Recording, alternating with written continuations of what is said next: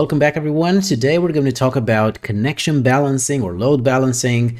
And that's basically going to be a discussion about how to run your applications in a distributed environment. That is, you have an application, you have a web application, for example, you want to run it on more than just one single server because that single server might fail or that single server might just not be enough to be able to support so many connections from all your customers. So you might want to run that application into a so-called server farm. That is multiple servers configured almost identically that are running the same application.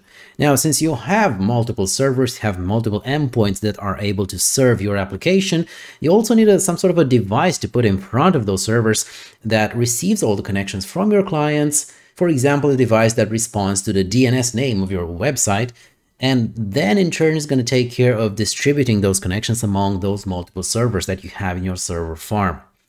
That device is what we're calling a load balancer. And we're going to mention also a couple of attacks designed to bring down such an infrastructure, especially when it comes to web applications. So first of all, let's try defining a load balancer. As we just said, it's, it's a device. It can be hardware, it can be software device that receives all the connections from your clients and then decides to which server it's going to redirect those connections.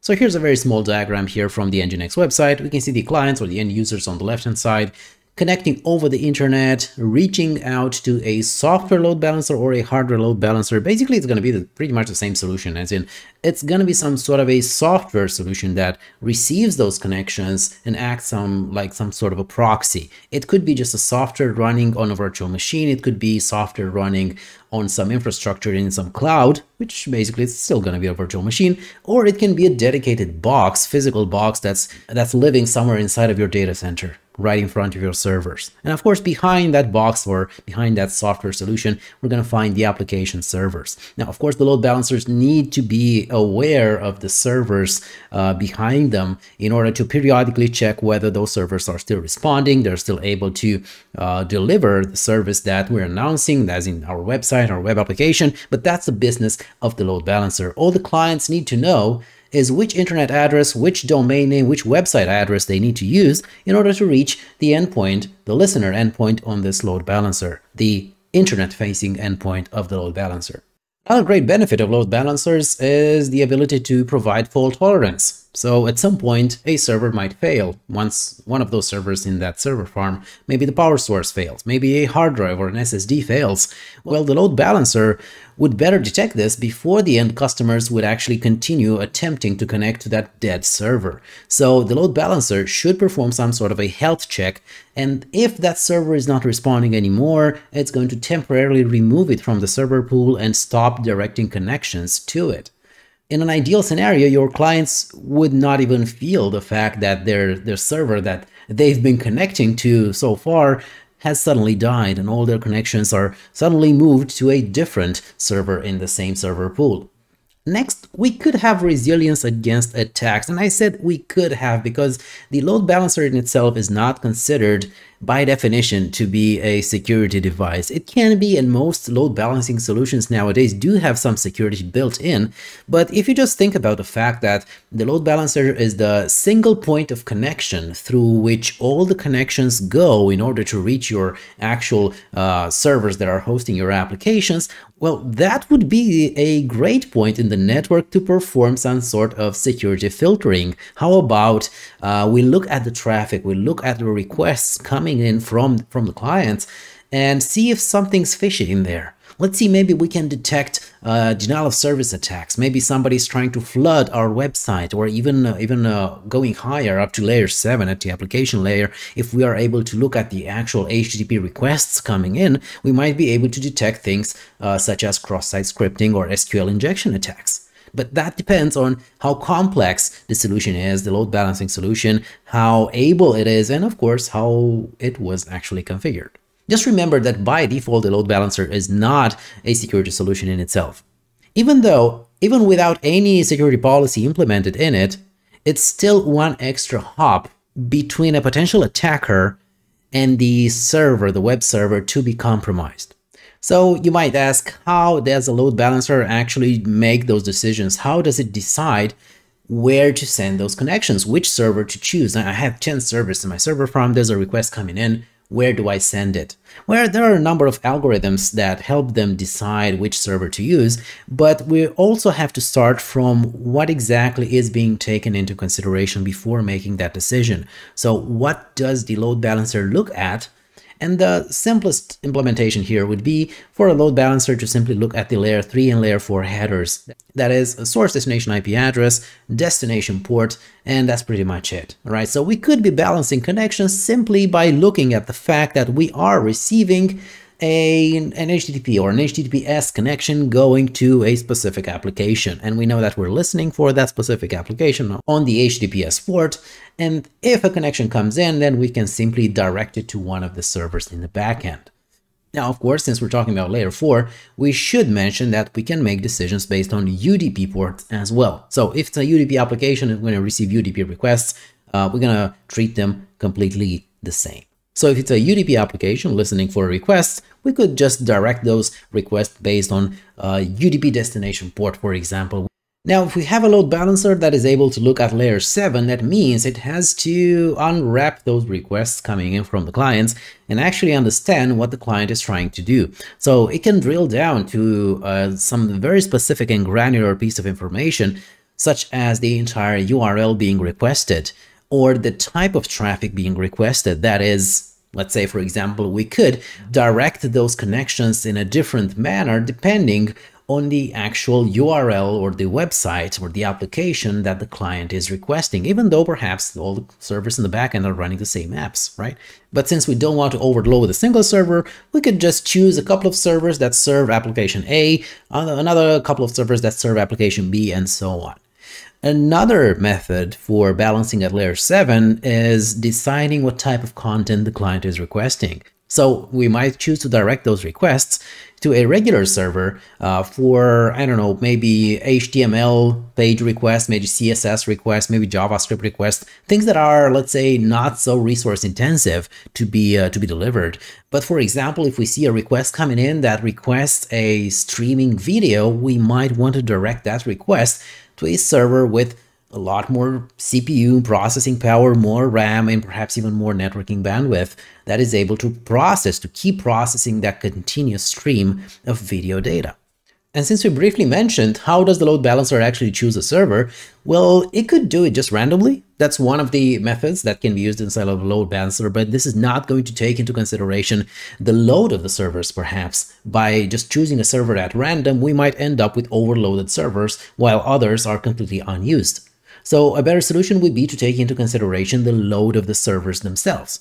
This requires the load balancer to keep track of how many requests have been sent to each server and perhaps even query those servers from time to time as to their CPU usage, how many active connections they have, and so on.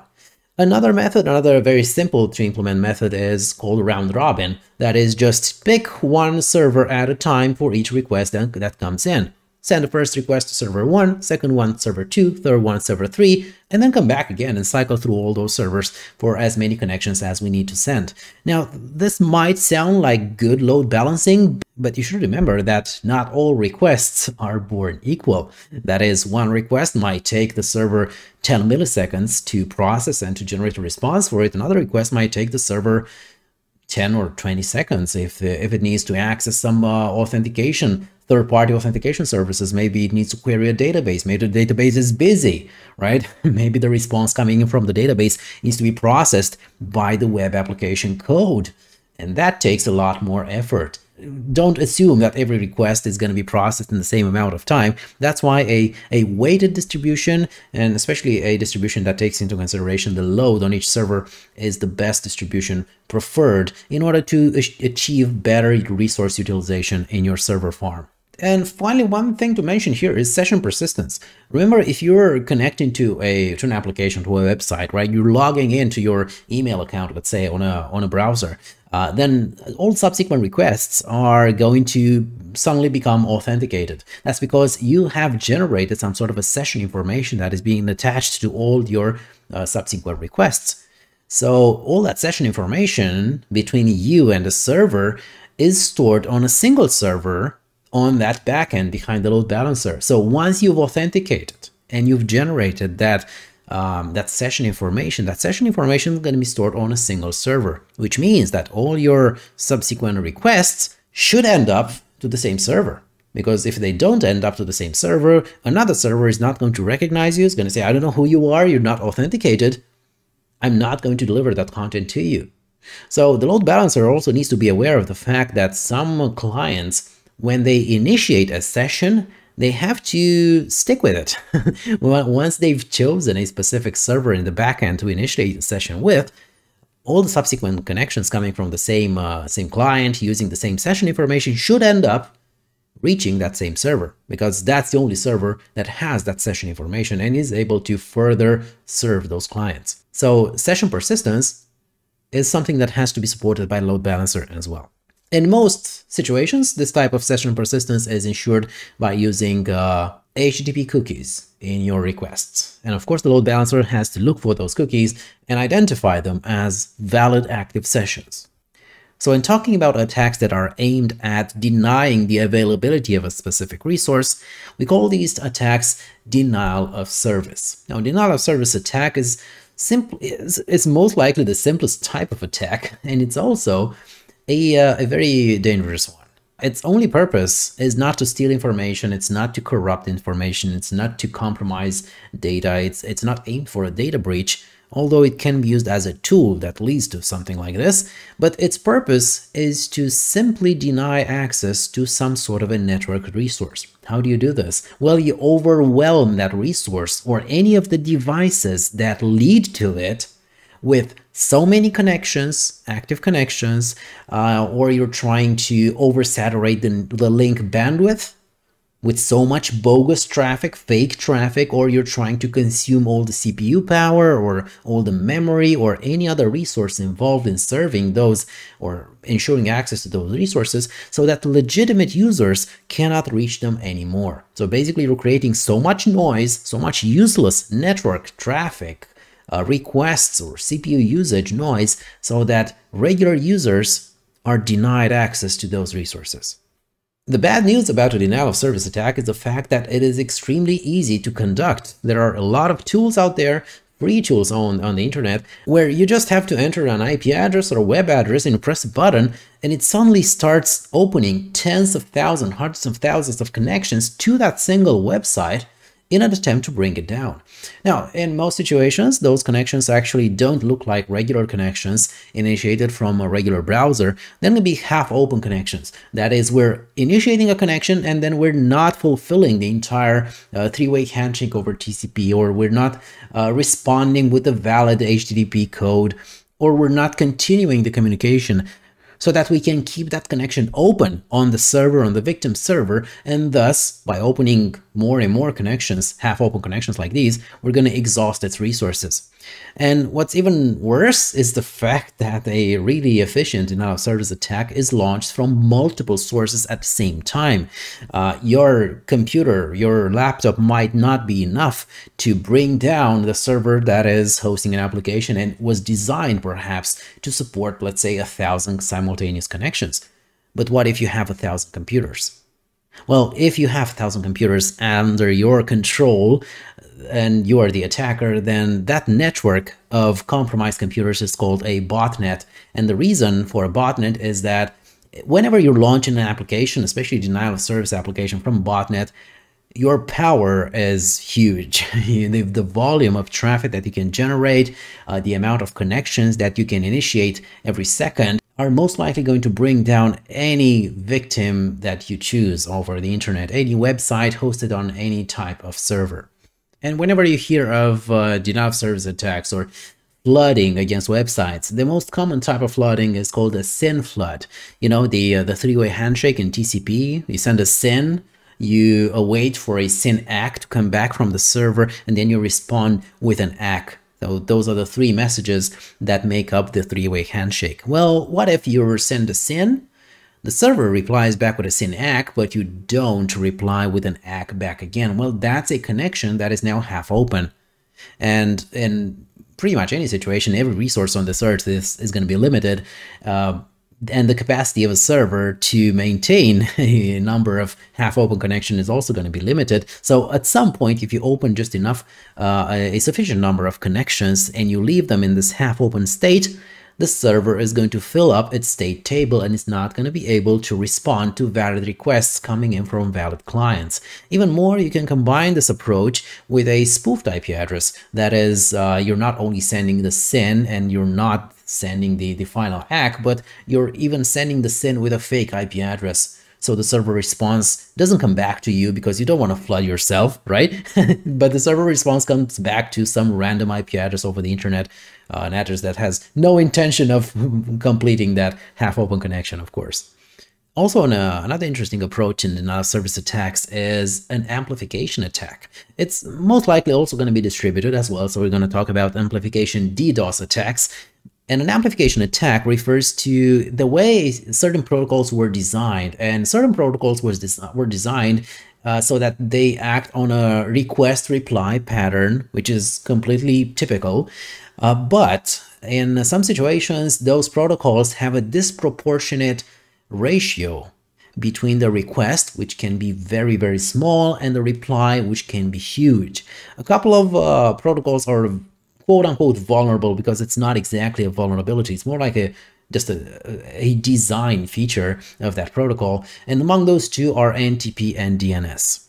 For DNS, you probably know that a DNS request in itself is very small, but the response that you receive from the server, especially if the server has a has a large database and it's able to list a bunch of uh, A records or name name server records or mail exchange records, well, the response can be much, much larger than a request. Similarly with NTP, you might not expect this, but NTP, the network time protocol, the protocol that we're using to synchronize time over the internet, uh, can also uh, can also support specific requests that make the server reply with the list of the last 600 IP addresses that the NTP server has contacted.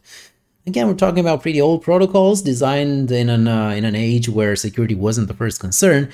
Nowadays, we can leverage this behavior to create distributed, amplified denial of service attacks. Of course, by spoofing IP addresses. And what I mean by spoofing them is this time we're not spoofing the IP address with a random address like we did with the SYN flood, but now we're spoofing them with the victim's address. So we're contacting a bunch of DNS or NTP servers all over the internet because they're pretty much free, right? They don't have any kind of security built in. And then we convince them all to reply at the same time to a single IP address, overwhelming that IP address with a huge amount of traffic. And you don't even need a botnet to do this. You're basically relying on the internet infrastructure that's made up of NTP and DNS servers out there, free to use for everyone, but you start using them as tools for your attack. Now that's kind of scary, right? now let's just talk for a minute. How can we possibly mitigate denial of server, distributed denial of service attack? Now we could be doing it at our own load balancing level inside of our load balancer, uh, which perhaps is installed in a clustered topology. I'm going to talk about this on the next slide. A better solution would have to be involved with the ISP, the Internet Service Provider, and have them the ISP filter that bogus traffic before it even reaches us. And if you think about it, that's the best solution because the ISP's network has a lot more capacity than whatever network capacity you might have in on your own uh, your own internet connection. And secondly, the ISP is able to see that traffic before it even reaches you. Because if you're thinking about, well, I'll just identify the traffic that belongs to denial of service and I'll just simply drop it on my firewall or on my router or on my load balancer. Yes, you might you might do this, but well think about it. What if all the traffic that reaches you is denial of service traffic? What if you're not even seeing, you're not even receiving any valid requests because the denial of service has filled up your entire bandwidth has consumed your entire internet connection, the capacity of your connection, and all you're seeing is denial of service traffic. You might drop that traffic, but you're left with nothing. You're still not receiving valid client connections. So a better solution would be to have the ISP drop that traffic before it even reaches you. Another um, problem with uh, doing your own filtering inside of your your own backyard is well, what if that denial of service traffic is aimed at eating up all your processing power or CPU resources?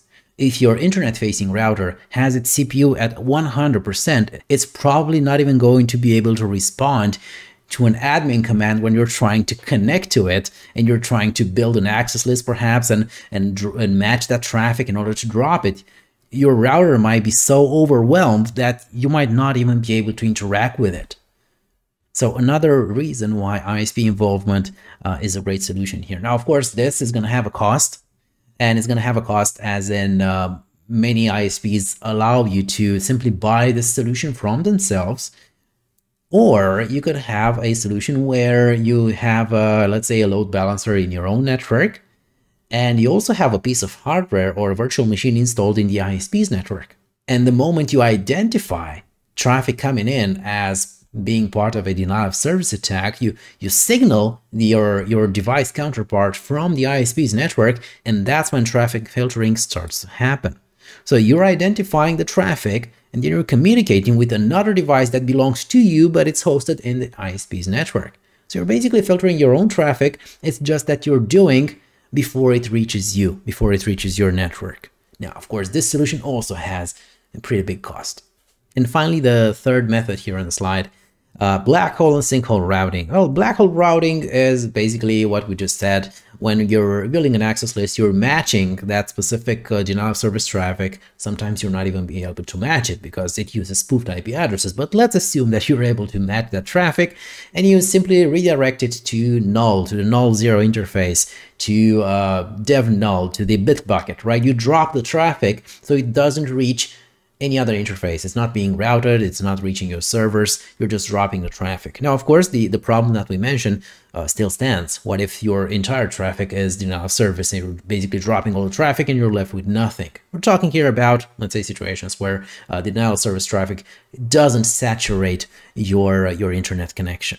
And now sinkhole routing uh, is a type of traffic dropping, but with the ability to further analyze it. And uh, many cybersecurity operation centers, it's not just enough to identify an attack and drop it. You want to have a look at it. You want to uh, direct, redirect, or save, or make a copy of that traffic in order to analyze it and understand more about the attack, and maybe create some sort of security rule that avoids and drops that traffic if it's identified in the future again.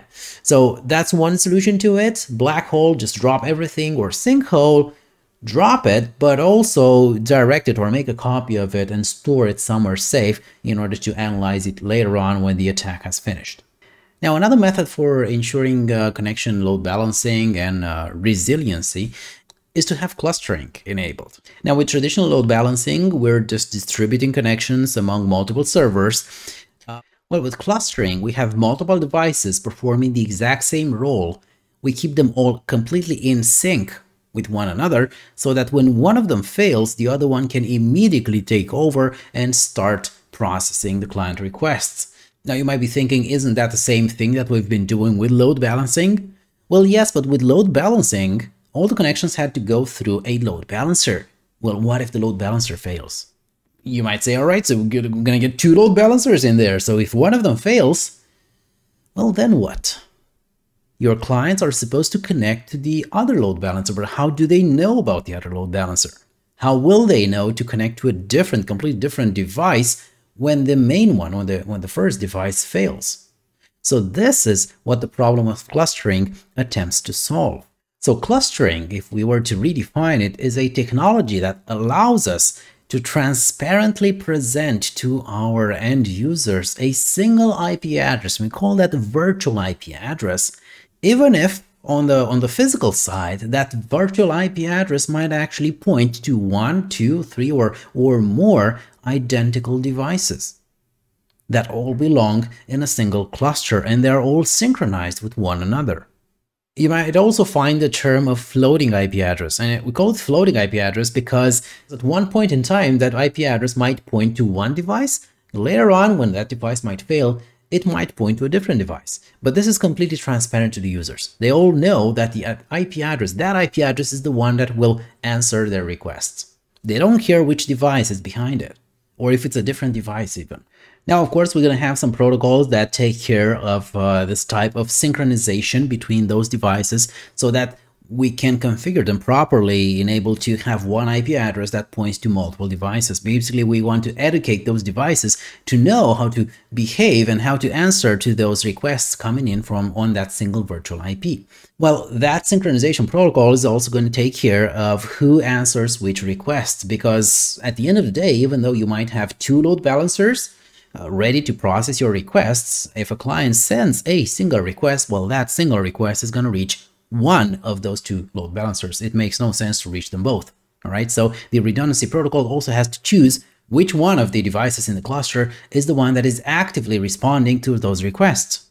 Which brings us to a situation where we have to make a difference between active-passive clustering and active-active clustering. Well, with active-passive, we have one device that answers all the requests and one or more passive devices just waiting and periodically checking through a heartbeat whether that active device is still up and running and is able to, to serve those clients. And the moment the active device fails, immediately another one of those passive devices takes over the active role. So that's active-passive. Now, on the other hand, we could also have active-active clustering, which is, let's say, real load uh, balancing or load sharing, and that is where both or all of the members in the cluster are actively busy serving requests that are coming in. Now, of course, if one of them fails, then the remaining devices are going to take over the failed one's role.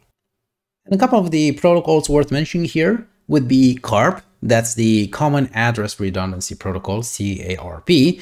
This is also where you will find protocols, especially if you've been through some Cisco courses, uh, protocols such as uh, VRRP, Virtual Router Redundancy Protocol, or HSRP, Hot Standby Routing Protocol, or even GLBP, Gateway Load Balancing Protocol. There are many, but they pretty much work pretty similarly. Pretty much they do the same thing, as in they keep in touch with one another, they uh, keep track of the active cluster members and they also talk to each other to decide which one of us is going to respond to ARP requests and uh, to the actual uh, application requests coming in onto that virtual IP address. Because we only have one virtual IP address but we have multiple uh, members in the cluster here that well we we have to talk to each other and decide who is the the one that's going to be responsible for answering those requests. So that's what those protocols are doing and there's one more thing to mention here. Remember when we said that there's a real problem when it comes to active sessions? That is when a client authenticates themselves and it creates a, a session cookie that it needs to use on every subsequent request so it makes sense for all those requests to come back to the same server in the backend. Well, clustering attempts to solve this issue as well. Clustering, if implemented at, let's say, firewall level, uh, we have a cluster of firewalls, or at server level, or even at database level, ensures that the, that session information is also synced among the multiple members of the cluster so that the moment one of those members is unable to respond, the other one can take over immediately and can even continue from where the other left off because it knows about the same session information. Now one last topic here to cover. As you probably know, most applications, most networking devices are simply processing the traffic that reaches them on a best effort basis. That is, first come, first served. If we have resources to process this, uh, this request, this type of traffic, we're going to process it. If we don't, well, tough luck. We're simply going to drop it. We're simply going to ignore it. We're going to let it time out. That's the default behavior if you don't have something uh, like quality of service implemented. So basically quality of service is a model or a framework for prioritizing certain types of traffic. And when do you need to prioritize traffic? Well, when there's congestion, when there's more traffic than you can handle, or when there's more requests than you can handle. Because if you have enough capacity, it makes no sense to prioritize traffic because it's going to reach its intended destination in the same amount of time anyway. So quality of service kicks in the moment when your resources are just not enough. And we have two types of traffic prioritization. First of all, we either might need to ensure a certain amount of bandwidth for a specific application. For example, if you have video streaming, we care about the video quality. We want the quality to be high. We want to have good sound, good image. So we need to ensure that's what's for specific types of traffic. Ideally, the type of traffic that we identified as belonging to video streaming protocols, we're going to allocate a chunk of the bandwidth so that the traffic quality, the video quality, is not going to suffer. On the other hand, another type of prioritization that we might want to do is latency. Well, latency is the delay between the packet is sent and the packet is received. Of course, there is always going to be some type of delay, at least a couple of milliseconds between any two points, especially over the internet. But certain applications are more sensitive to delay than others. For example, if you were to send an email and the email arrives within, uh, let's say, five seconds, you consider that email to be a success, right? The connection is good, is okay. I mean, five seconds for an email is okay. But if you're talking on the phone and the other person hears what you just said over five seconds, well, that's not going to be an acceptable type of conversation. So as you can probably guess, uh, the most sensitive to latency are the applications that rely on real-time communication, especially voice-based applications, because the human ear is much more sensitive to delay than the eye is for a bit of delay in the image or uh, a couple of artifacts or image degradation, especially if it's just temporarily. So we need to do three things in order to have quality of service, in order to be able to prioritize the traffic. Uh, first of all, we need to identify the traffic. We need to know what are the rules that say, well, if you're seeing this in the network, then this belongs to Netflix. If you're seeing this, then this is a voice over IP call. And if you're seeing this, oh, this is BitTorrent. We don't care about that one. Okay, so identification of traffic is the first step. Second, we need marking of traffic. Why do we need to put some sort of a stamp onto that traffic once we've identified? Well, that's because we don't have the two devices, the, the sender and the receiver on the same network. We have a sender and a receiver with the entire internet in between, or a VPN in between, or a bunch of devices in between. And those devices know nothing about the way we've chosen to identify and to prioritize that specific type of traffic. So if the network that's between the sender and the receiver belongs to us, then in an ideal situation, we could configure those devices and tell them, watch for this type of traffic, or watch for a specific label, or watch for a specific stamp that's attached to that traffic. And if you're seeing this, apply a specific prioritization policy to it. So we're, we're performing identification and marking as close as possible to the source of the traffic so that everybody else who sees the traffic afterwards up to its destination is going to be able to know what type of traffic that is and how they should handle it. And of course, that traffic handling means applying a specific QoS quality of service policy to it. That is reserving a chunk of bandwidth, uh, maybe jumping the queue so that we minimize the, the latency, minimize the delay, any type of, of policy that ensures that we're actually reaching the level of service that we intend to with this quality of service implementation. So First of all, how do we identify traffic? Well, we just match it using access lists. Well, we could be looking at layer 3, layer 4, Sometimes you could be looking at layer 7, but that's, uh, that's a special kind of issue in there because sometimes looking at layer 7 means assembling the entire data stream and looking in the entire that entire payload in order to figure out what type of traffic that is. And that type of queuing and traffic assembly and decoding takes time and it might be too late by the time you're done assembling that traffic and figuring out what's inside of it, it might be too late for that traffic to be prioritized. It might be already irreversibly delayed. So in many situations, we prefer to identify the traffic at layer 4 at most. Now, starting from layer 2, and especially with frames that belong to a specific VLAN and that are tagged with the 802.1q standard, well, the 802.1q tag format includes information about the VLAN and a couple more information here, including a 3-bit field, which is called Priority Code Point, PCP. Uh, this field also follows the specifications in the IEEE 802.1p, also called Class of Service. And just like the name says, these are just three bits that when assigned to a specific value, they indicate a specific type of traffic. Now you only have eight values, right, ranging from 0 through 7, since you only have 3 bits.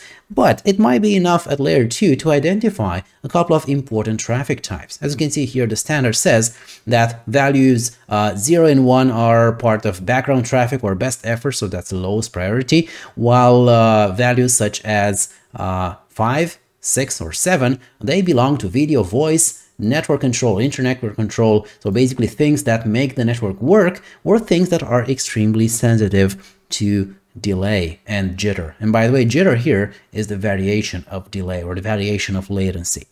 So one thing to keep in mind here, it's not enough to just mark those frames with these values in there in order for them to be prioritized. You also need a specific QoS policy that takes that value into consideration and applies a specific traffic policy to it. Otherwise, you could be marking packets back and forth all over the internet.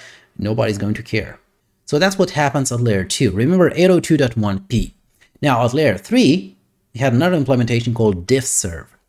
Now, the way the diffserv protocol is implemented is by leveraging 8 bits in the IPv4 header these 8 bits right here, which actually are called the DS differentiated services bits. And if you're looking at some older documentation, you might find it listed as, let me see it right here, you might find it listed as TOS, that's the type of service field. So they all refer to the exact same thing. There's 8 bits in, uh, in length in there, and those 8 bits are divided among 6 bits that are the DSCP field, that's the Differentiated Services Code Point, that's the field that actually uh, describes the prioritization, and 2 bits for explicit congestion notification. Now, these are not really used anymore. Nowadays, we're going to, going to focus on the DSCP field. Now the DSCP field, you might think, oh, so we have three bits in, uh, in COS, we have six bits now in DSCP more traffic classes. Well, yes, more traffic classes, but unfortunately, really complicated in the way they were designed. And uh, the way the DSCP was designed was to first define a type of traffic class, and we have four major traffic classes here. Default forwarding, like, well, the traffic that we don't care about, expedited forwarding, things that we need to prioritize, assured forwarding, things that we really need to prioritize, and class selector, that's a simplified version of these classes that are supposed to maintain backwards compatibility with the IP precedence field uh, or the 802.1p field in, uh, in the actual frames, where we only had uh, eight classes. Now, among, among these, uh, these default forwarding classes, each and every one of them has multiple subclasses and also different drop probabilities. We have low, medium, and high drop probability. So uh, basically for one single let's say assured forwarding class 1, we would have assured forwarding class 1 and drop probability of low, which means that it's going to be pretty prioritized, right? If we if we drop down as much as possible the probability for that packet to be dropped, ranging through AF13, right? It's still class 1, it's still assured forwarding, but now we have high drop probabilities. So a packet marked with AF13 has a higher chance of being dropped than a packet marked with AF11. But of course, this has to be implemented in a traffic policy as well class selector classes, as we said before, there's the simplified uh, version of DSCP, and they also enumerate eight types of classes here ranging from 0 to 7. Uh, their purpose is to map onto the older ones that we saw in the layer 2 frame, 802.1p classes. So pretty complicated here, actually. We don't really need to go into all that detail, at least not for the Security Plus or for the Network Plus. If you're going for CCNP, CCIE, well, that's going to be a different discussion. Uh, but for now, just remember that DSCP applies uh, to layer 3 it's a field of 6 bits within the IPv4 header, and that field can be used for marking packets in order for those packets to be prioritized later on on the line uh, until their final destination. Speaking of prioritization, let's assume that your traffic has been identified, has been marked, and it has reached at some point in the network a router or layer 3 device that sees those uh, DSCP markings and has to do something about it and decides that, well, according to my traffic policy, I need to prioritize this type of traffic. How can I do this? What does this prioritization actually mean? Well, it could mean, for example, to implement a specific queue of packets. And I'm only going to put that uh, packets in that queue if they belong to some high priority. And of course, whenever I choose a packet to take from one of my queues and place it on the wire on the interface, I'm going to make sure that I take packets from the priority queue before I take packets from other queues. Now that those queues, those packet queues, is basically uh, are going to eat up memory, so they're going to be limited, which means that you can perform this type of queuing only up to a point. If you run out of memory to queue those packets, well, QoS is not going to help you because you simply cannot store nor send those packets anymore. You don't have enough resources to do so. So we have a number of algorithms here that decide how to build and how to take packets out of these, these queues. We could rely on a single priority queue. We could rely on multiple queues according to each traffic class. Uh, we could rely to some uh, weighted distribution of traffic classes uh, or even weighted distribution according to the amount of traffic that an application is generating. Uh, there are even uh, algorithms out there that tend to prefer applications that send fewer traffics and prioritize those instead of traffics that eat up a bunch of bandwidth. Because it is assumed that if an application generates a low amount of traffic, well, that, that traffic is probably critical. Uh, if, you if you lose that traffic, you lose a bunch of the functionality behind that application. While an application that generates a lot of traffic, well, it might have some built-in mechanisms to retransmit those packets, so we might be safe if we just drop some of that that huge amount of traffic, right? I, I read this comparison uh, when when reading about QoS a couple of years ago in a Cisco book that said if you're if you're in a let's say in a meeting room and a lot of people are talking, a few of the people are just hogging the discussion and only only they're talking in there, nobody else uh, has a chance to say anything if one single person who has never said anything before starts speaking suddenly and only says like a couple of words, everybody's going to listen to him, right? Because that silent person, when they had something to say, it's probably important. That's the same um, behavior that is found inside QoS as well. If we have a traffic that sends just a couple of bytes every couple of minutes, well, that traffic might be important enough to prioritize it on top of an application that generates 100 megabytes per second. All right, so how do these policy enforcements actually work? Well, we have your traffic identified, we have it marked, we have it queued. What do we do now? Well, what do we do with that with that queued traffic? Well, if it's a priority queue, uh, obviously we're going to try to send it as soon as possible. If it's not a priority queue, what do we do with traffic that is uh, second class, right? Traffic that we we've chosen to sacrifice in order to better serve the priority applications. Well, we have two methods of dealing with traffic that is low priority. First of all, we could be doing shaping. Uh, shaping means we're uh, simply going to queue up traffic and allow it to leave the network interface up to a specific speed. So we're, let's say we're limiting Netflix up to one megabit per second. If you're content with that, if your users can handle that image quality, fine by us. We don't really care. But what's important to us is that whenever there's congestion, we don't want Netflix to be the application that's eating up all the network bandwidth. So that's shaping. We're queuing up as many packets as possible and then sending them at a steady rate. Okay, that's shaping. Well, queuing takes memory, as I said, and all the resources in this world are limited, memory included. So what happens when even those packet queues get full? Well, there's only one thing to do. You just start dropping traffic. We call this traffic policing. So instead of just queuing traffic and nicely trying to shape the traffic to match a specific flow, specific bandwidth, we're just dropping all the packets, blindly dropping all the packets that go above a certain threshold. So if we allow one megabit per second for Netflix, if somebody tries to watch Netflix at 10 megabits per second, we're simply going to drop everything above 1 megabit. Of course, it's going to be a lot of lost traffic in there. Uh, TCP is going to go crazy. The uh, sliding windows are going to have, and a lot of retransmissions are going to happen. But most applications, especially TCP applications, are going to start playing nicely. So they're going to level themselves down. They're going to level their sliding windows down to match the available bandwidth. So it's kind of like the, the police enforcing order so that people are kept in line. So we're dropping the traffic and we expect the applications to figure out, oh, so that's how much bandwidth am I allowed to use.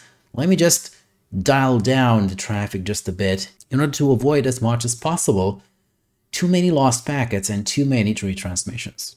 So long story short, shaping queue packets and send them nicely out at a steady rate, policing still send packets at a steady rate, but drop everything in excess. And well, since we're in a security training, what about attacks that target a QoS infrastructure?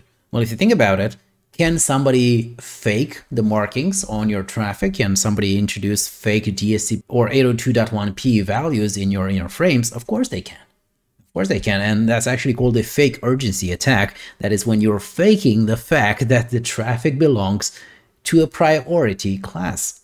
There's not much that you can do against this type of an attack, especially because it requires the attacker to belong to your network and be able to intercept the traffic. Now, fake urgency is a term that is coined in the uh, social engineering aspect of security, but we can apply this to QoS as well.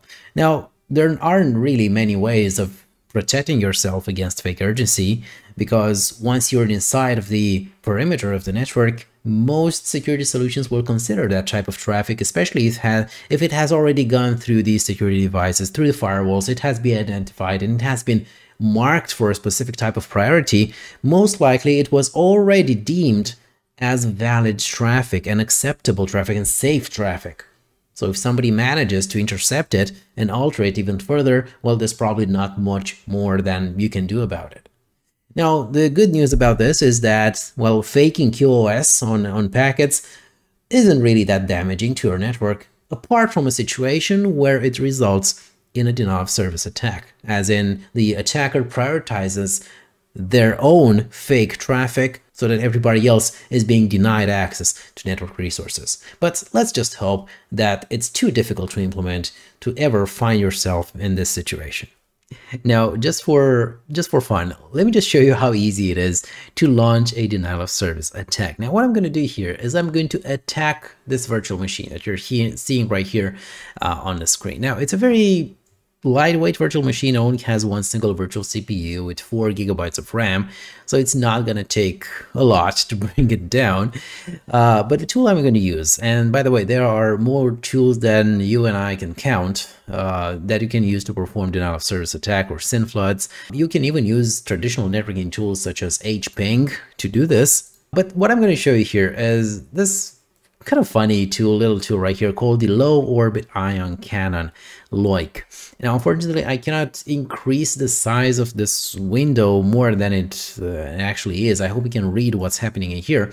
Now, but nevertheless, what's important is that you can see it's an painfully simple interface, I'm only required to provide the IP address of the victim that I'm planning to attack. And if I open a CMD prompter in here and ipconfig uh, is going to tell me that my current IPv4 address in this virtual machine is 10.10.10.134. So that's the exact IP address that I've logged onto right here. You can see this big IP address in the middle of the screen. You can also choose a specific method, TCP, UDP method based on HTTP. You can also set some param parameters in here, like the number of threads uh, that you'll be using, uh, on which port is the attack going to be conducted on, how fast it's supposed to go, and so on and so forth. You can just leave them all at their default.